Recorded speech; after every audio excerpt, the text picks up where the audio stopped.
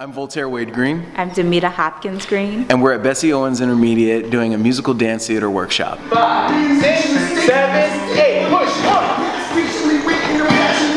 Push. Get ready to rock. Ha.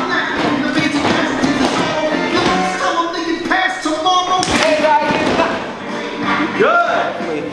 Uh, coming from Bakersfield, I just remember when, after seeing my first Broadway show, coming home and just being like, I will never get to do that again. I'll never go back to New York. And having that feeling, because you live on the West Coast and you know New York's clearly on the East, I wanted to like let the kids know that that's not an impossible thing to achieve. Just because you're from Bakersfield, or it doesn't matter where you're from, you know, as long as you want to like work hard to get there. Okay. Show me what you would do to get to your dream. Yes. Yes.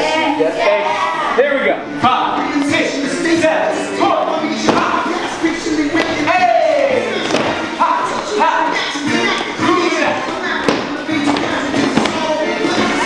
There's a line in the song called "Wait for It" where it goes, uh, "Hamilton doesn't hesitate. He uh, he uses no restraint. He takes and he takes and he takes." And to get to where you want to be and to do what you want to be able to do, you kind of have to be like that. You have to be relentless. If they sing dance like they showed us today, they can do that on Broadway.